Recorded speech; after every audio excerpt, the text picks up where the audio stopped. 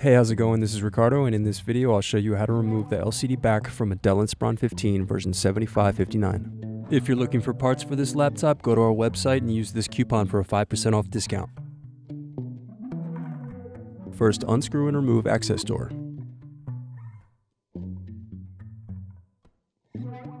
Now unscrew battery.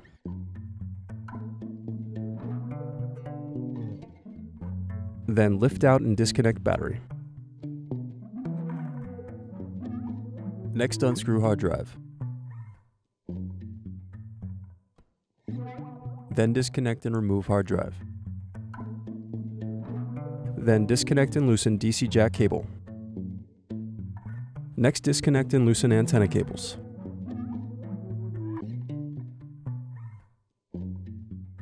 Now unscrew and remove wireless card.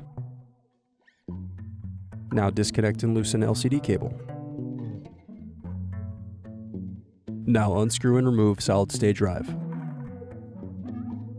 Next, press in tabs as you lift apart keyboard. Then turn over and disconnect keyboard.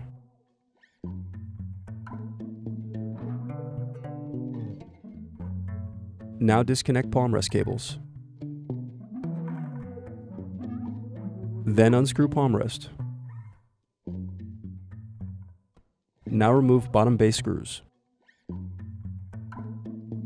Then use a thin object to pry apart and separate palm rest from base.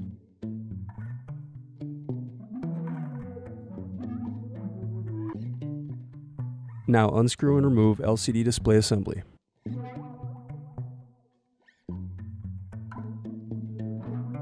Next, use fingers to pry apart and remove LCD bezel. Now unscrew and turn over LCD screen.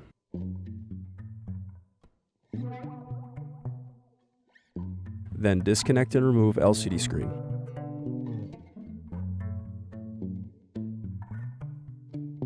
Then disconnect and remove web camera. Now remove LCD cable.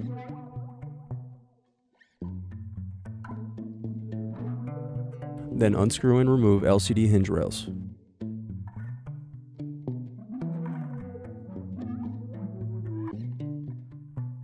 Need more? Check out these other tutorials. For batteries, click here. For hard drives, click here. For wireless cards, click here.